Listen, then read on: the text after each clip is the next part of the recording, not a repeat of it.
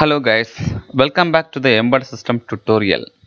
So இனிஷியலாக நம்ம first பார்ட்டில் நம்ம என்ன பார்த்துருப்போம்னா எம்பட சிஸ்டமில் மைக்ரோ கண்ட்ரோலோட எவால்வ் எப்படி மைக்ரோ கண்ட்ரோல் எவால்வ் ஆச்சு டெக்னாலஜியில் அதோட வளர்ச்சிகள் எப்படி இருந்துச்சு அப்படிங்கிறத நம்ம பார்த்தோம். நான் ஸோ நம்ம இப்போ பார்க்கக்கூடியது அப்படின்னு பார்த்தீங்கன்னா எம்பட சிஸ்டம் என்ன அப்படிங்கிறதான்.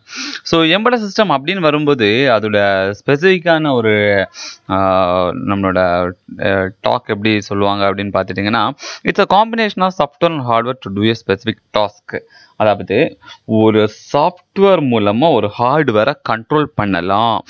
அதுதான் எம்பட் சிஸ்டம் ஆனால் இதில் கவனிக்க வேண்டிய விஷயம் to do a specific task ஏன்னா குறிப்பிட்ட ஒரு டாஸ்க்கை ஒர்க் அவுட் பண்ணுறது தான் எம்பட் சிஸ்டம் அந்த டாஸ்க்கை ஒரு சாஃப்ட்வேர் மூலமாக தான் கண்ட்ரோல் பண்ணலாம். ஃபார் எக்ஸாம்பிள் நம்மளோட மொபைல் ஸோ இப்போ நம்ம மொபைல் எடுத்துக்கிட்டிங்கன்னா அதுக்குன்னு சம் லிமிட்டட் அப்ளிகேஷன் ஏ இந்த அப்ளிகேஷன் இவ்வளோ தான் ஒர்க் ஆகணும் அப்படின்னு இருந்துச்சுன்னா அதுக்கு பேர் ஒரு எம்பர்டர் சிஸ்டம் ஆனால் நம்ம பிசி வந்து எம்பட் கேட்டகரி கீழே வந்தாலும் அது பியூராக எம்பர்டர் சிஸ்டம் வராது. ஏன்னா அது ஸ்பெசிஃபிக்காக ஒரு டாஸ்க்காக மட்டுமே யூஸ் பண்ண மாட்டாங்க. மல்டிபிள் பர்பஸ்க்காக யூஸ் பண்ணுவாங்க. ஆனால் mobile fridge washing machine TV satellite so இதெல்லாம் பார்த்துட்டிங்கன்னா ஒரு ஜென்ரலாக ஒரு லிமிட்டட் பேஸ்ட் அப்ளிகேஷன் அதனால தான் சொல்கிறோம் embedded is a combination of software and hardware to do a specific task இன்னொன்று என்ன சொல்கிறாங்க it's digital computer on it chip அதாவது ஒரு சிப்புக்குள்ளாட ஒரு டிஜிட்டல் கம்ப்யூட்டர் இருந்த மாதிரி தான் ஏன்னு பார்த்தீங்கன்னா அந்த சிப்புக்குள்ளாடியே மெமரி இருக்குது. தென் ஐஓஸ் இருக்குது. தென் எக்ஸ்டர்னல் பெரிஃபரல்ஸ் எல்லாமே இன்டர்னலாகவே இன்டகிரேட் ஆகிருக்குது ரேம் இருக்குது. ஸோ இந்த மாதிரி எல்லா ஃபியூச்சர்ஸுமே இன்டர்னலாக இருக்கிறனால இதை வந்து டிஜிட்டல் கம்ப்யூட்டர் ஆன் சிப் அப்படின்னு சொல்லுவாங்க. இதை கொஞ்சம் ப்ரீஃபாக நான் எக்ஸ்பிளைன் பண்ணால் ஜஸ்ட் ஒரு அசியூம் பண்ணிக்குவோம். நம்ம ஒரு எயிட் ஜீரோ ஃபைவ் கண்ட்ரோலர் எடுத்து வச்சுருக்கோம்.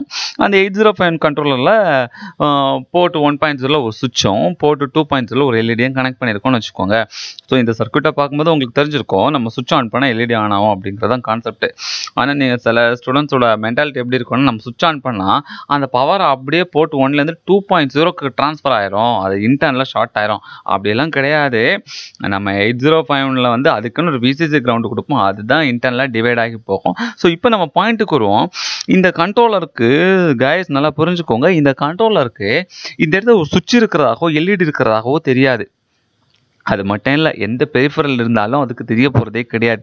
ஏன்னா இந்த கண்ட்ரோலுக்கு தெரிஞ்சது எல்லாமே வோல்டேஜ் லாஜிக்கு இந்த லாஜிக்கில் நாம் எப்படி ப்ரோக்ராம் எழுதுவோம் அப்படின்னு பார்த்துட்டிங்கன்னா ஒன் பாயிண்ட் ஜீரோ வழியாக ஒரு வோல்டேஜ் அதாவது ஒரு பவர் வந்துச்சுன்னா டூ பாயிண்ட் ஜீரோ வழியாக ஒரு வோல்டேஜ் அனுப்புங்க. அப்படின்னு தான் நாம் உண்மையிலே கோடு எழுதுவோம். நம்ம சுவிட்சு எல்இடி ஸ்பெசிஃபை பண்ணி எழுத போகிறதே கிடையாது. ஒரு ஒன் பாயிண்ட் ஜீரோவில் இன்புட் வந்துன்னா டூ பாயிண்ட் ஜீரோ அவுட்புட் கொடுங்க அப்படின்னு எழுதுகிறோம் அந்த ஒன் பாயிண்ட் ஜீரோவில் வோல்டேஜை வந்து ஒரு சுவிட்ச் வழியாக கொடுக்குறோம் அவ்வளோதான் அதே மாதிரி டூ பாயிண்ட் ஜீரோ ஒரு அவுட் வருது அந்த இதை ஒரு எல்இடியை ப்ளேஸ் பண்ணுறோம் ஸோ இந்த கண்ட்ரோலர் என்ன பண்ணுதுன்னா ஒன் பாயிண்ட் ஜீரோவை மானிட்டர் பண்ணி டூ பாயிண்ட் ஜீரோக்கு அவுட் தரும். இதுதான் ரியலாக இந்த கண்ட்ரோலர் பண்ணுறது பட் என்டர்னலாக எக்ஸ் என்டையராக இந்த சர்க்யூட் எடுத்துக்கிட்டிங்கன்னு வச்சுக்கோங்க நம்ம எப்போ சுவிட்ச் ஆன் பண்ணுறோமோ இந்த கண்ட்ரோலர் ஒன் பாயிண்ட் ஜீரோ வழியாக பவர் வாரனால சுவிட்ச் ஆன் ஆயிருக்கு அப்படின்னு அண்டர்ஸ்டுட் பண்ணி டூ பாயிண்ட் ஜீரோவில் ஒரு பவர் அனுப்பும். அந்த பவர் அனுப்ப இடத்த நம்ம ஒரு எல்இடி போட்டிருக்கோம். அந்த எல்இடியோட நெகட்டிவ் டெர்மினல் கிரவுண்ட் பண்ணிருக்கோம். ஸோ இதனால எல்இடி க்ளோ ஆகுது. ஸோ இந்த இடத்த எல்இடியை ரீப்ளேஸ் பண்ணிட்டு இந்த இடத்துல ஒரு பஸரை ப்ளேஸ் பண்ணிட்டீங்கன்னு வச்சுக்கோங்க. பசர் ஆன் ஆகும். அதான் சொல்கிறேன் இந்த கண்ட்ரோலருக்கு இங்கே சுவிட்ச் இருக்கிறதாவோ எல்இடி இருக்காவோ பஸ்ஸர் இருக்கிறாவோ தெரியாது. நாம ஒரு லாஜிக்கல் ஃபேக்டை வச்சு ப்ரோக்ராம் எழுதணும். இப்படி இன்புட் வந்தால் இப்படி அவுட்புட் கொடுப்பா அப்படின்னு ப்ரோக்ராம் எழுதலாம் அந்த என்டையர் ஹார்ட்வேரும் கண்ட்ரோல் ஆகுது. ஸோ இதுதான் சிம்பிளாக சொன்னால் embedded system a combination of software and hardware இது நம்மளோட ஹார்ட்வேர் இதில் இருக்கக்கூடிய எம்படசி லாங்குவேஜ் நம்மளோட software so combination software and hardware to do specific switch on பண்ண எல்இடி ஆன் ஆகணும் அப்படிங்கிற நம்மளோட ஒரு டாஸ்க்கு ஸோ இதைத்தான் நம்ம எம்பட சிஸ்டம் அப்படின்னு சொல்கிறோம் ஓகே இப்போ எம்படோட பிளாக்ஸ் இப்போ எம்படோட பிளாக்ஸ் அப்படின்னு ஜென்ரலாக நம்ம எடுத்துக்கிட்டோம்னா ஒரு கண்ட்ரோலர் கண்டிப்பாக இருக்கணும். ஸோ அதில் வந்து சென்சார்ஸ் எல்லாமே இன்டர்ஃபேஸ் பண்ணிக்கலாம். சென்சார்னால் லிஸ்ட் ஆஃப் சென்சார்ஸ் நிறைய இருக்குது நீங்கள் நெட்டில் ரெஃபர் பண்ணி பாருங்கள் சிம்பிளாக நான் சொன்னேன்னா temperature sensor gas sensor moisture sensor இந்த மாதிரி சொல்லுவேன். தென் அவுட்புட் இன்டர்ஃபேஸ் அப்படின்னு ரொம்ப ஆக்டிவேட்டர்ஸ் அண்ட் இண்டிகேட்டர்ஸ் கொடுத்துருக்கோம். இண்டிகேட்டர்ஸ் அப்படின்னு வரும்போது ஒன்றுமே இல்லை. ஒரு பஸ்ஸராக இருக்கலாம் இல்லைன்னு ஒரு எல்இடியாக இருக்கலாம் இல்லைன்னு எல்சிடியாக இருக்கலாம். சம்திங் எல்ஸ் ஒரு இண்டிகேட்டிங் பர்பஸ் தென் ஆக்டுவேட்டர் ஆக்டுவேட்டர்னுங்கிறது ஒன்றுமே கிடையாது. ஒரு மோட்டார் ஒரு டிசி மோட்டார் இருக்குது ஸ்டெப்பர் மோட்டார். ஸோ இந்த மாதிரிப்பட்ட இன்டர்ஃபேஸிங்கை தான் ஆக்டிவேட்டர்னு சொல்லுவோம் okay so embedded system use பண்ணும்போது இந்த மாதிரி சுற்றி சம் பெரிஃபரல்ஸ் நம்ம இன்டர்ஃபேஸ் பண்ணிக்கணும் then principle of embedded system so பிரின்சிபலாக embedded system பண்ணி வரும்போது பார்த்துட்டிங்கன்னா நம்ம எம்பட சிஸ்டம் படிக்கும்போது என்னென்ன கற்றுக்கணும் அப்படிங்கிறதான். அதாவது லிஸ்ட் அவுட் லிஸ்ட்டாக கற்றுக்கணும் சி சி ப்ளஸ் ப்ளஸ் ஏன்னா பேசிக்காக இது நம்ம படிக்க வேண்டிய தென் ப்ராசர் கண்ட்ரோலர் பற்றி படிக்கிறோம் ஆனால் இந்த கண்ட்ரோலர் அப்படின்னு ரொம்ப இன்டர்னல் பேஸ்ட் ஆர்கிடெக்சர்ஸ் தான் படிக்கணும். இன்டர்னலாக கண்ட்ரோல்குள்ளே என்னென்ன ஃபியூச்சர்ஸ் இருக்குது? தென் அதுக்கு வந்து என்னென்ன பெரிஃபரல்ஸ் அதாவது timer timer zero timer so இந்த மாதிரி இன்டர்னல் பெரிஃபரல்ஸை பற்றி தான் நம்ம ஜென்ரலாக படிக்கலாம். தென் அதுக்குன்னு ஸ்பெசிஃபிக்காக அசம்பிளி லாங்குவேஜ் படிக்கணும் ஸோ எம்படசி பற்றி நான் ஸ்பெசிஃபிக்காக சொல்லணும்னு ஒன்றுமே கிடையாது. ஒரு C programming based some language அதாவது நம்ம என்ன சொல் பண்ண போகிறோம்னா ஒரு சி ப்ரோக்ராம்குள்ளாடி நம்மளோட கண்ட்ரோலரோட இன்டர்னல் பெரிஃபரில் நம்ம எழுத போகிறோம் ஸோ அது எப்படிங்கிறத பார்த்தீங்கன்னா அடுத்த டியூட்டோரில் வந்து எயிட் ஜீரோ ஃபைவ் வச்சு எப்படி ஹார்ட்வேர் இன்டர்ஃபேஸ் பண்ணணும் நான் ஒரு தனி வீடியோ போடுவேன். அதில் நீங்கள் பார்த்துட்டிங்கன்னா கோடிங் பேஸ் எக்ஸ்பிளேஷன் எம்பது சீனா என்ன அப்படிங்கிறத நான் சொல்லி வந்திருப்பேன் தென் அட்வான்ஸி அட்வான்ஸியை பற்றி தனியாகவே ஒரு நான் வீடியோ போட்டுறேன் அதில் நீங்கள் பார்த்துக்கோங்க பிகாஸ் அட்வான்ஸியை பற்றி பேசணுனாலே ரொம்ப டைம் ஆகும். So just leave it up then device driver so device driver அப்படிங்கிறது ஒன்றுமே கிடையாது. ரெண்டு ஹார்ட்வேர்க்கு நடுவில் இருக்கும் மீடியேட்டர் ரொம்ப சிம்பிளாக சொன்னால் நம்ம யூஎஸ்பியை வந்து நம்ம பிசியில் இன்டர்ஃபேஸ் பண்ணுறோம் இன்டர்ஃபேஸ் பண்ணும்போது ரைட் சைடு டா பாட்டம் கார்னரில் என்ன வருது? இன்ஸ்டாலிங் டிவைஸ் டிரைவர் அதாவது நம்மளோட யூஎஸ்பி டிவைஸையும் நம்ம பிசியும் கனெக்ட் பண்ணுற ஒரு ப்ரோக்ராமிங் தான் டிவைஸ் டிரைவர் ஸோ இந்த டிவைஸ் டிரைவருக்கே தனி கோர்சஸ் நம்மளோட ஃபிசிக்கல் வேர்ல்டில் இருக்குது நீங்கள் சர்ச் பண்ணி பார்த்தீங்கன்னா தெரியும். இந்த டிவைஸ் டிரைவருங்க கோர்ஸ் வந்து ரொம்ப ரொம்ப advanced concept okay then leave it off then அடுத்த PIC peripheral interface controller so இது என்ன பெரிஃபரல் இன்டர்ஃபேஸ் கண்ட்ரோலர் ஃபஸ்ட்டு இன்ஷியலாக கண்ட்ரோலர் வந்துச்சு. அதில் எயிட் ஜீரோ ஃபைன் முதல்ல வந்துடுச்சு. அதுக்கு அடுத்தது டெக்னாலஜி அட்வான்ஸ்டாக ஆரம்பிச்சு. ஏன்னா கண்ட்ரோல் எயிட் ஜீரோ ஃபைவ்க்குள்ளே பார்த்துட்டிங்கன்னா ஏடிசி கிடையாது. ஸோ இப்போ என்ன பண்ணுறாங்க பிக்குள்ளாடி ஏடிசி இருக்குது so X zero five use பண்ண எக்ஸ்டர்னலாக ஒரு ஏடிசி ஐசி போட்டு அதுலேருந்து ஐஓ பின்ஸ்லாம் கனெக்ட் பண்ணி நான் எயிட் ஜீரோ ஃபைவ்ல நாலு போர்ட்ஸ் இருக்குது அதில் ரெண்டு மூணு ரெண்டு போர்ட்ஸு ஏடிசிக்காக போயிடும் ஸோ பெரிஃபரில் இன்டர்ஃபேஸ் பண்ண முடியாது. ஸோ மார்க்கெட்டில் என்ன பண்ணுறாங்க ஏடிசி இன்னொரு ஐஸில் யூஸ் பண்ணி ஸோ அதை ஒரு மைக்ரோஷிப் அப்படிங்கிற ஒரு கம்பெனி ஏடிசி இன்பில் பண்ணி பிக்குன்னு ஒரு கண்ட்ரோலை இன்ட்ரடியூஸ் பண்ணாங்க. ஸோ அது இந்த பிக்கு கண்ட்ரோல் இந்த மார்க்கெட்டில் ரொம்ப ரொம்ப அட்வான்ஸ்டாக இருக்குது then ARM. Advance RISC machine so advance RISC மிஷின்ங்கிறது thirty two bit controller so இனிஷியலாக நம்ம eight zero one eight bit controller PIC எயிட்டும் இருக்குது சிக்ஸ்டீன் இருக்குது தேர்ட்டி டூ இருக்குது ஆம் தேர்ட்டி டூ அது என்ன எயிட் பிட்டு இன்னும் தேர்ட்டி டூ பிட்டு அப்படின்னு நீங்கள் நினைக்கலாம். சிம்பிளாக சொன்னால் என்னோட நம்மளோட ப்ரீவியஸ் ஸ்லைடில் உங்களுக்கு போன டு டுட்டோரியல் இதில் பார்த்துட்டிங்கன்னா ரேம்க்கும் sorry eight zero oh five one micro கண்ட்ரோலருக்கும் ப்ராசருக்கும் டிஃப்ரென்ஸ் பார்த்துருப்போம் அந்த டிஃப்ரென்ஸில் பார்த்தீங்கன்னா ஒரு சிபி இருக்கும் ஒரு ரோம் இருக்கும். ரோமில் இருக்கக்கூடிய நம்மளோட மிஷின் லாங்குவேஜ் சிபியூக்கு போது சிபியூ எக்ஸிக்யூட் பண்ணுது. இதுவே eight bit கண்ட்ரோலர்னால் eight eight bit values of data வந்து சிபியூக்கு போகும். இதுவே ஆம்னா thirty two bit value of data சிபியூக்கு போவோம் ஸோ ஒரு டைமிங்கில் வந்து எயிட் ஜீரோ ஃபைவ் ஒன் ஒன்று பண்ணுறனால நம்ம ஆம் நாலு பண்ணுற மாதிரி. இல்லைன்னா தலைகீழ வச்சுக்கலாம். எயிட் ஜீரோ ஃபைவ் நாலு இன்ஸ்ட்ரக்ஷன் செட் எக்ஸிக்யூட் பண்ணக்கூடிய டைமை விட ஆம் வந்து நாலு இன்ஸ்ட்ரக்ஷன்ஸ் எக்ஸிக்யூட் பண்ண ரொம்ப குட்டியான டைம் எடுத்துக்கும். அதாவது அங்கே எயிட் பிட் வேல்யூ போகணும் அடுத்த எயிட் அடுத்த எயிட் அடுத்த எயிட் நாலு எயிட் பிட் வேல்யூ போகணும்.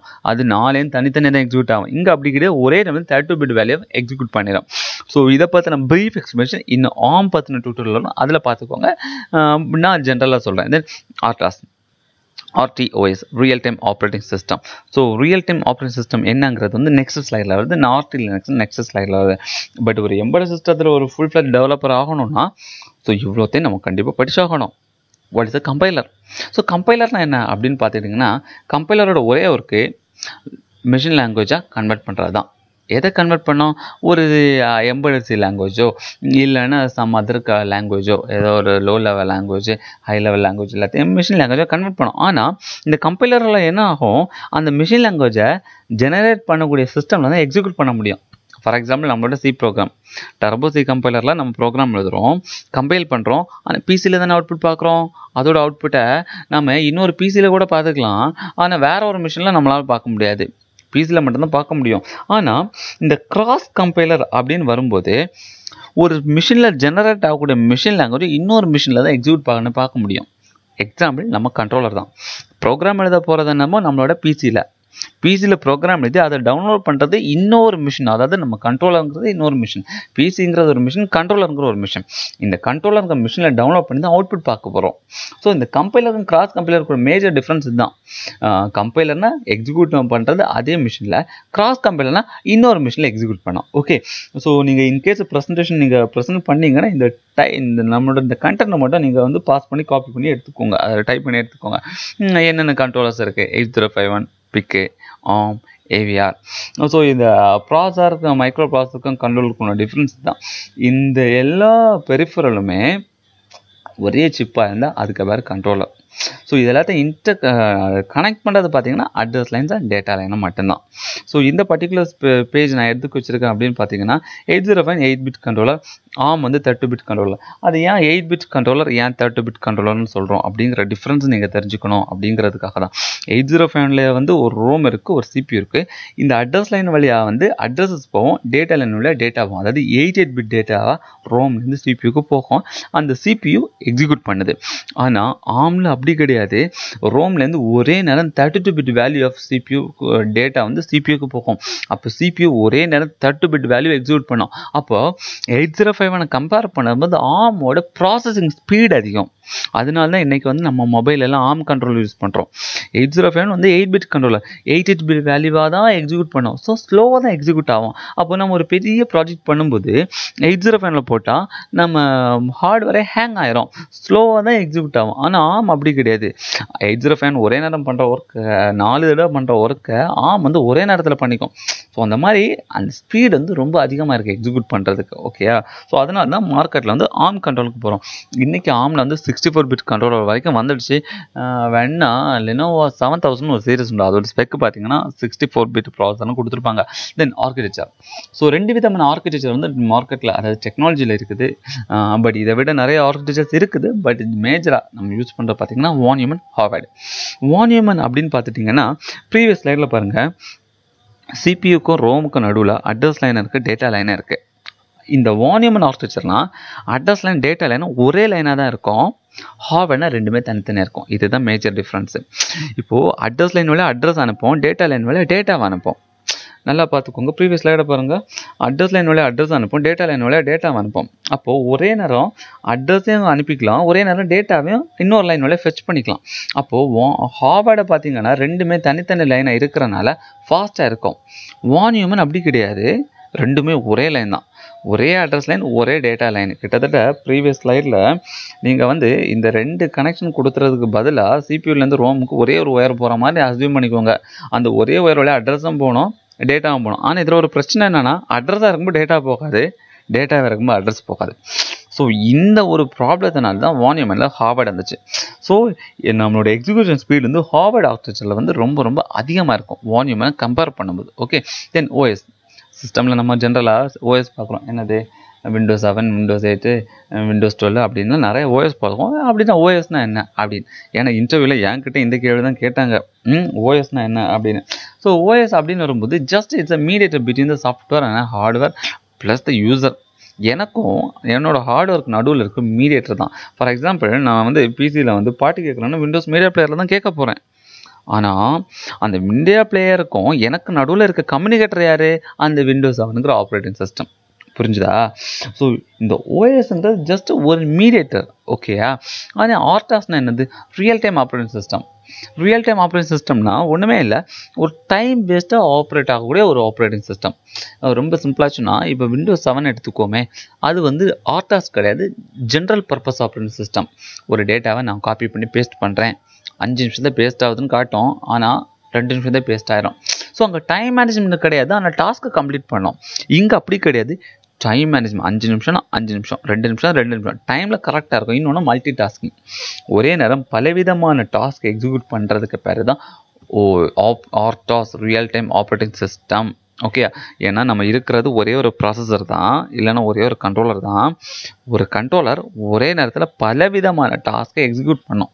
இதுதான் real time operating system but time based இருக்கும். ஓகே இதில் ரெண்டு விதமாக பிரிச்சிருப்பாங்க. ஹார்ட் ஆர்டாஸ் சாஃப்ட் ஆர்டாஸ் இந்த ஹார்ட் ஆர்டாஸ்ங்கிறது என்னென்னு பார்த்தீங்கன்னா ரொம்ப ரொம்ப மைக்ரோ செகண்ட் வரைக்கும் கால்குலேட் பண்ணி டெவலப் பண்ணக்கூடிய ஆர்டிஓஎஸ் தான். அந்த ஆர்டி லினக்ஸ்னு ஒன்று இது பார்த்தீங்கல்ல அதுதான் ஹார்ட் ஆட்டாஸ் இந்த ஹார்ட் ஆட்டாஸ் வந்து எங்கே யூஸ் பண்ணுவாங்க அப்படின்னா மிசைல்ஸ் தென் சேட்டலைட் கம்யூனிகேஷன்ஸு இந்த ராக்கெட்டில் இக்னேட் பண்ணுவாங்கல்ல இதெல்லாம் ரொம்ப ரொம்ப டைம் ஸ்பெசிஃபிக்காக கால்குலேட் பண்ணியிருப்பாங்க. ஸோ அப்படி அந்த டைம் பேஸ்டாக பண்ணக்கூடியது ஹார்ட் ஆட்டாஸ் நம்ம ஏடிஎம் மிஷினில் இருக்குது பார்த்தீங்களா இதெல்லாம் டைம் பேஸ்டே கிடையாது. டாஸ்க்கை கம்ப்ளீட் பண்ணணும் ஆனால் ஸ்பெசிஃபிக்காக இருக்கும். இப்போ நம்மளோட பிசினா ஜென்ரல் பர்பஸ் எல்லாமே நிறைய ஒர்க் பண்ணோம். ஆனால் ஏடிஎம் அப்படி கிடையாது. மணியை டிஸ்பேச் பண்ணோம் டேட்டா வந்து நெட்ஒர்க்கிங் வழியாக அனுப்பும். ஸோ அதுக்குன்னு ஒரு ஓஎஸ்க்கு ஜென்ரேட் பண்ணது தான் சாஃப்ட் ஆட்டாஸ் ரியல் டைம் இந்த ஓஎஸ்க்கு வந்து ப்ரோக்ராம் எழுதக்கூடிய டூல்ஸ் அதாவது இந்தந்த சாஃப்ட்வேரில் தான் நம்மளால் ப்ரோக்ராம் எழுத முடியும் ஓகே இது சாஃப்ட்வேர்னு சொல்லக்கூடாது டூல்னு சொல்லணும். VX ops ThreadX MOS embed system operating system மியூகாஸ் two RTLinux WinCE அதாவது Windows compact edition okay Windows CE அது வந்து மைக்ரோசாஃப்ட் உள்ளது தென் ஆண்ட்ராய்டு ஸோ இந்த ஆண்ட்ராய்டு எல்லாமே இதெல்லாம் டூல்ஸ் இந்த டூல்ஸை யூஸ் பண்ணி நம்ம ப்ரோக்ராம் எழுதிக்கணும். அது மல்டி டாஸ்கிங் பேஸ்டாக ப்ரோக்ராம் எழுதணும். அதெல்லாம் ப்ரியாரிட்டி பேஸ்டாக வரும் அந்த ஆர்டர்ஸ் பற்றி நான் தனியாகவே ஒரு வீடியோ போடுவேன். ஸோ அதை பார்த்து நீங்கள் தெரிஞ்சுக்கோங்க. ஓகே ஃபைனலாக அப்ளிகேஷன் ஸோ இந்த அப்ளிகேஷன் லெவலில் எடுத்துக்கிட்டோம்னு வச்சுக்கோங்க ஆட்டோமொபைல்ஸ் ஆட்டோமொபைல்ஸ் ரொம்ப பார்த்தீங்கன்னா ஏபிஎஸ் டெக்னாலஜி டிசிஎஸ் இஎஸ்பி இந்த மாதிரி different different technologies then displays panels then இதே மாதிரி அல்ட்ராசோனிக் சென்சார் இந்த மாதிரி நிறைய சென்சார்ஸ் ஆட்டோமொபைல்ஸை இன்றைக்கி இன்டெகிரேட் பண்ணுறாங்க தென் மொபைல் ஃபோன் ஆல்ரெடி உங்களுக்கு தெரியும். ஏன்னா எல்லார் கையிலுமே இருக்குது then consumer electronics consumer electronics நிறைய டிவி ஃப்ரிட்ஜ் வாஷிங் மிஷின் நம்ம டெய்லி யூஸ் பண்ணக்கூடிய எலக்ட்ரானிக் டிவைசஸ் தான். தென் எவியானிக்ஸ் எவியானிக்ஸ்னா ஏவியேஷன் ப்ளஸ் எலக்ட்ரானிக்ஸ் தான் எவியானிக்ஸ்னு சொல்கிறோம் ஸோ இது என்ன அப்படின்னு பார்த்தீங்கன்னா ஃப்ளைட் கண்ட்ரோல் நம்ம ஃப்ளைட்டெல்லாம் கண்ட்ரோல் பண்ணுறாங்கல்ல ஸோ இதுக்கு கம்யூனிகேஷன் மீடியம்ஸ்லாம் யூஸ் பண்ணுறது நம்மளோட எம்பட சிஸ்டம் தான் இருக்குது. தென் மெடிக்கல் சிஸ்டம்ஸ்லாம் இருக்குது. இசிஜி தென் ஸ்கேனிங் ஸோ இந்த மாதிரி நிறைய டெக்னாலஜிஸ் வந்து இன்றைக்கி எம்பெடட் கீழே அதிகமாக வந்துச்சு. ஸோ நாம் இருக்கக்கூடியது டிஜிட்டல் வேல்ட் இந்த டிஜிட்டல் வேல்டை கண்ட்ரோல் பண்ணுறது முழுக்க முழுக்க நம்மளோட எம்பெடட் சிஸ்டம் தான். ஓகே ஸோ இதுக்கு மேலே ஏதாவது குறைஸ் இருந்ததுன்னா ஸ்டூடெண்ட்ஸ் கிட்ட கேளுங்க. அதுக்கு வந்து நீங்களே ஆன்சர் ப்ரிப்பேர் பண்ணி நீங்கள் வந்து ஸ்டூடெண்ட்ஸுக்கு கன்வெர்ட் பண்ணுங்கள் ஸோ ப்ரெசன்டேஷன் நீங்கள் கொடுத்தீங்கன்னா ரெண்டு டூட்டர்லாம் பாருங்கள் ரெண்டு டூட்டரில் இருக்கக்கூடிய நோட்ஸ் எடுத்துக்கோங்க. நோட்ஸ் எடுத்து ஜஸ்ட் டிஸ்ப்ளே பண்ணி பக்காவாக ப்ரொ ப்ரொஜெக்ட் பண்ணுங்கள் உங்களுக்கு இந்த பிபிடி வேணும் அப்படின்னா என்னோடய ட்விட்டரில் பார்த்ததுக்கு அப்புறமா கீழே கமெண்ட் செக்ஷனில் கமெண்ட் பண்ணுங்கள் தென் இதை பிடிச்சிருந்தா லைக் பண்ணுங்கள் கண்டிப்பாக என்னோடய சேனலை சப்ஸ்கிரைப் பண்ணுங்கள் டெய்லி டெய்லி புது புது அப்டேட்ஸ் வந்துகிட்டே இருக்கும். உங்களோட இமெயில் ஐடியை கீழே உங்களுக்கு பிபிடி வேணுன்னா கமெண்ட் பண்ணுங்கள் ஸோ நான் வந்து உங்களுக்கு இந்த பிபிடியை வந்து நான் உங்களுக்கு அனுப்பிவிடுறேன். Okay thank you guys thank you so much